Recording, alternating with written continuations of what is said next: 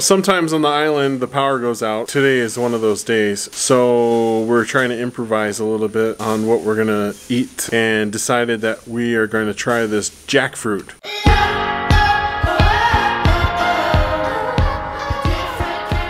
And the jackfruit is pretty awesome. It's like 40 pounds and we have like 10 or 15 jackfruit on the tree right now. We just read about it and found out that jackfruit is related to breadfruit and durian and things like that. And this tree alone can produce something like 3,000 pounds of fruit in a year. So here's our first attempt at having jackfruit from Samoa. This is our version of jackfruit and you can see how it's kind of spiky. You can kind of see how it's a bit spongy. It's been sitting on our counter maybe one week, I think. When we first cut it, you can see all that stuff came out, except it was white, and it just kept coming and coming and coming out. It just, it was gross, uh, and it's very pungent. Very strong smell, yeah. Nolly bears. Ah, ah, ah. No, you try hold it. It's bigger than Noli is. I'm bigger than it. Right, Emma, you try hold it. Whoa, you're so strong. Whoa, no, good job, Ammo.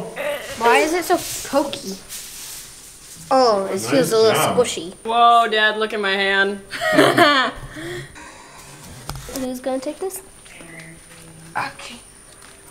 This is our first time cutting a jackfruit, but what we've heard about it is a really sticky latex, and so they said either don't use your best knife or lube it up with some coconut oil before you cut into it to help prevent the latex from sticking to it. And we laid down aluminum foil on our work surface, and we have some gloves uh, because it's really sticky.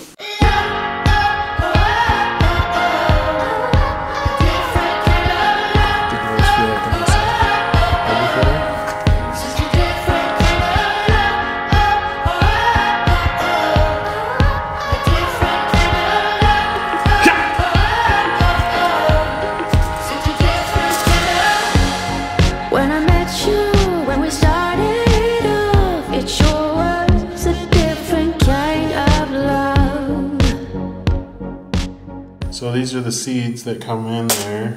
You can see that it's super, super sticky. That all this white stuff is so gross. It's just really sticky. You can see how You shouldn't have touched it. I shouldn't have touched it. Supposedly these are pods that you're supposed to eat. Tastes like bubblegum, Dad. It does taste like bubble gum. It's the strangest thing ever.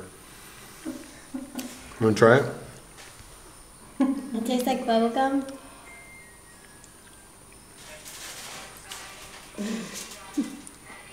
Eat it. Chew it. Wait. It Yeah. tastes like bubblegum. It looks like cheese. It smells like rotten fruit cheese. Fruit cheese. What do you think, Emma? Tastes like bubble gum, huh? it tastes like gum, Emma? Emma, does it taste like gum? Go. I'll start with her. It does? You like it? Yeah? Oops, sorry. You eat that like a bird. Wow. It's weird, huh? What does Even has the same like? texture as like chewed bubblegum. yeah. Weird. What about that? Tastes like banana, mango, It kind of tastes like banana. whatever. Yeah, it's like banana, mango, ah. pineapple bubblegum mix. The seeds just kind of slide out, and then you just gotta kind of pull pull the fruit. I'm surprised that more Polynesians haven't told us about this. It really does taste like bubblegum. Smell awesome. Oh, you got some more? Oops, sorry. I don't want it Is it good? Anymore. Angeline's not a fan. It even like stretches like, Like, bubblegum it- on your Yeah, on your like, tongue. It's like your tongue is like your hands and it stretches a lot. It doesn't taste like bubblegum, but it feels like bubblegum in your mouth. And Yeah. I don't like it. More like mango and banana. Or Yeah, it's more like mango and banana. So it's not anything like um, any previous videos we've seen. All the other previous videos we've seen, they all had like um, like full pods, like little pockets that were maybe about the size of like a, a four-year-old's fist or something like that, and it all stayed together. But this is really like melted bubble gum or something like that. But it does not taste as good as cotton candy or bubble gum. I promise. Looks like marshmallows when you make Rice Krispies. Yeah. Mama, it looks like squishy um, marshmallow. It does look like squishy marshmallow. So it's a lot of work since we have this big tree that produces 3,000 pounds of this a year. Will you eat it again, Joe? Yeah, I think so. It is a little hard to like wrap your mind around it because it's just so different from any fruit that I've ever had. Maybe we can make some sort of recipe out of it or something, hopefully. There's no end, it seems like, to how much fruit is in here. It also doesn't seem to stick to itself, which is kind of nice. Like the stuff just slides right off of the stickiness. I think this would be amazing in smoothies. So you're gonna buy me that Vitamix? I knew you set me up for that. it's actually relatively easy to harvest the fruit. You know, take away the sticky factor. But I have gloves on anyway, and it's actually not too bad. I'm not even halfway through, and look how much fruit there is. It's like scrambled eggs from here. It is so sticky though. That's Crazy. That looks like the way to do it. Yep.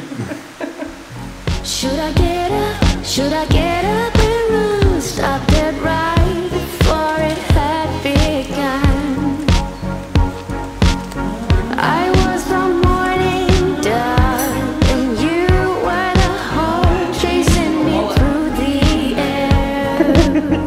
Why don't You looked like you didn't care. That's pretty awesome.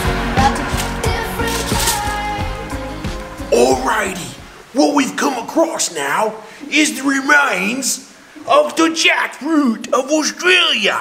You hardly ever see this in the wildlife of Australia. My terrible impression of Steve Irwin. I love you, Steve Irwin, and I'm excited to see you in heaven someday. Try this, Alisha.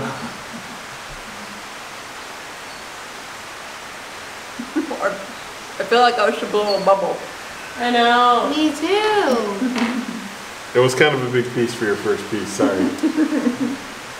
Yeah, really. Containing.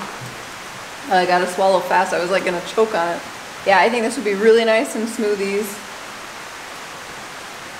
I don't know how much of it I could just sit and eat like this. We've heard that the not ripe jackfruit you can use as a vegetarian meat substitute. It is really like I'm chewing bubble gum right now. Polynesian bubblegum.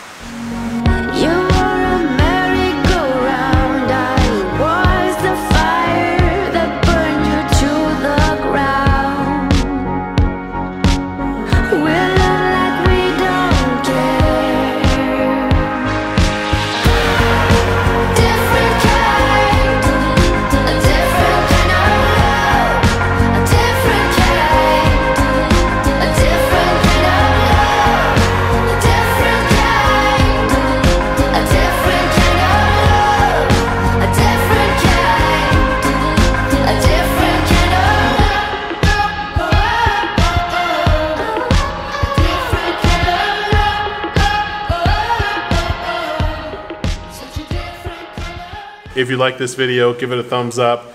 Get all sticky with us. Leave us a comment below and subscribe.